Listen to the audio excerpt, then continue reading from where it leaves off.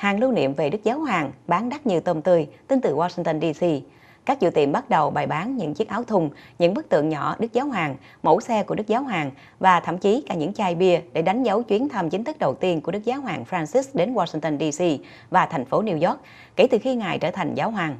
Đức Giáo hoàng Francis sẽ chủ tọa lễ phong thánh ở cổng phía đông của Vương cung Thánh đường Thánh tích quốc gia Đức Mẹ Vô nhiễm Nguyên tội vào hôm thứ Tư ngày 23 tháng 9 tới đây.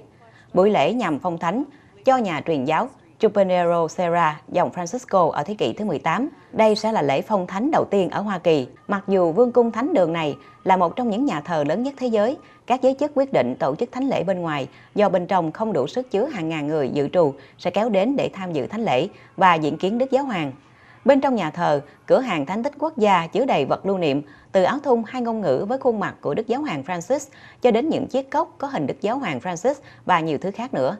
Từ New York, Đức Giáo Hoàng sẽ đến Philadelphia để dân thánh lễ ngoài trời ngày Chủ nhật ngày 27 tháng 9, dự trù sẽ thu hút một triệu rưỡi người và đánh dấu kết thúc chuyến thăm 6 ngày của Ngài tại Hoa Kỳ.